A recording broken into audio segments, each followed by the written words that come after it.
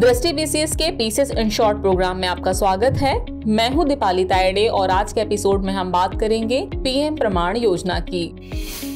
लेकिन सबसे पहले जान लेते हैं कि टॉपिक आखिर खबरों में क्यों है। रासायनिक उर्वरकों के उपयोग को कम करने के लिए सरकार पीएम प्रमाण योजना शुरू करने की योजना बना रही है। चलिए जानते हैं योजना के बारे में।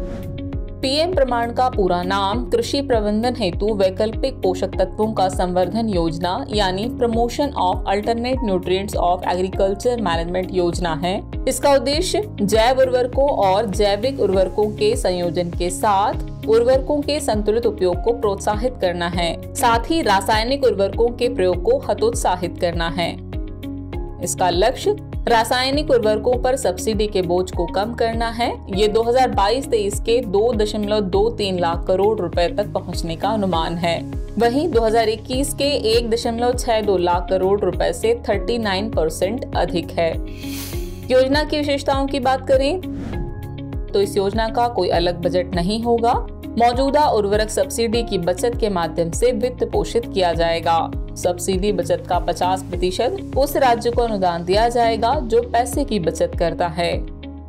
योजना के तहत प्रदान किए गए अनुदान का 70 प्रतिशत गाँव, ब्लॉक और जिला स्तर पर वैकल्पिक उर्वरकों और वैकल्पिक उर्वरक उत्पादन इकाइयों के तकनीकी अपनाने से संबंधित परिसंपत्ति सृजन के लिए उपयोग किया जा सकता है शेष 30 प्रतिशत अनुदान राशि का उपयोग किसानों, पंचायतों, किसान उत्पादक संगठनों और स्वयं सहायता समूहों को पुरस्कृत करने तथा प्रोत्साहित करने के लिए किया जा सकता है, जो उर्वरक उपयोग को कम करने व जागरूकता पैदा करने में शामिल हैं। एक वर्ष में रासायनिक उर्वरक उपयोग को कम करने की गणना की तुलना पिछले तीन वर्षों के दौरान यूरिया की औसत खपत से की जाएगी। इस उद्देश्य के लिए उर्वरक मंत्रालय के डैशबोर्ड, एकीकृत उर्वरक प्रबंधन प्रणाली यानी इंटीग्रेटेड फर्टिलाइज़र मैनेजमेंट सिस्टम आई पर उपलब्ध डेटा का उपयोग किया जाएगा। योजना की आवश्यकता की बात करें तो इसकी आवश्यकता है सरकार पर रासायनिक सब्सिडी का अत्यधिक बोझ को कम करने के लिए दूसरा, गैर यूरिया उर्वरकों का अधिकतम खुदरा मूल्य कंपनी द्वारा नियंत्रित या तय किया जाता है। हालाँकि, उचित मूल्य सुनिश्चित करने के लिए केंद्र इन पोषक तत्वों पर एक समान प्रति टन सब्सिडी का भुगतान करता है। विभिन्न प्रकार के उर्वरकों के लिए प्रति टन सब्सिडी दस हज़ार दो सौ इकतीस से चौबीस हज़ार रूपए है।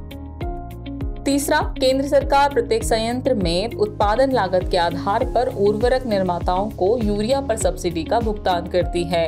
इकाइयों को सरकार द्वारा निर्धारित अधिकतम खुदरा मूल्य पर उर्वरक बेचना ज़रूरी होता है, इसलिए इस योजना की शुरुआत की गई है। चलिए जानते हैं सरकार की अन्य पहलों के बारे में।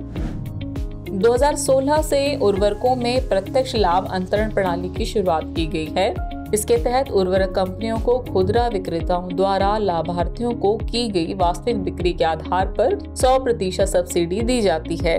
सरकार ने उर्वरक नियंत्रण आदेश उन्नीस में नैनो यूरिया और जैव उत्तेजक जैसे नए पोषक तत्वों को शामिल किया था। सभी घरेलू उत्पादकों के लिए नीम लेपित यूरिया के रूप में 100 प्रतिशत यूरिया का उत्पादन करना अनिवार्य है। वहीं 2015 से नई यूरिया नीति भी लागू की गई है।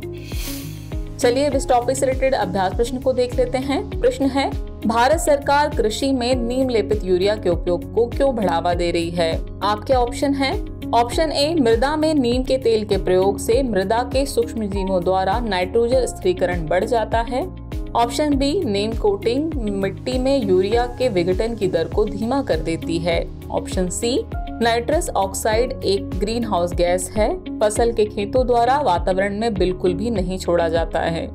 और ऑप्शन डी है, यह विशेष फ़सलों के लिए खरपतवार और उर्वरक का संयोजन है।